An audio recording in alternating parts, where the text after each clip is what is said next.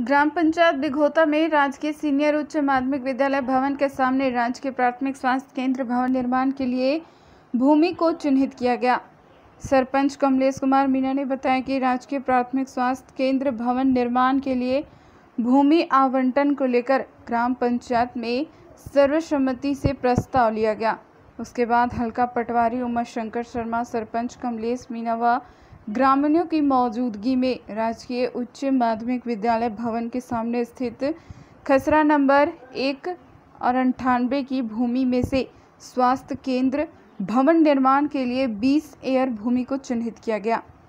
सरपंच ने बताया कि थानागाजी विधायक कांति प्रसाद मीना ने बिघोता ग्राम पंचायत क्षेत्र में चिकित्सा सुविधा उपलब्ध कराने के लिए मुख्यमंत्री अशोक गहलोत से प्राथमिक स्वास्थ्य केंद्र खुलवाने की मांग की थी।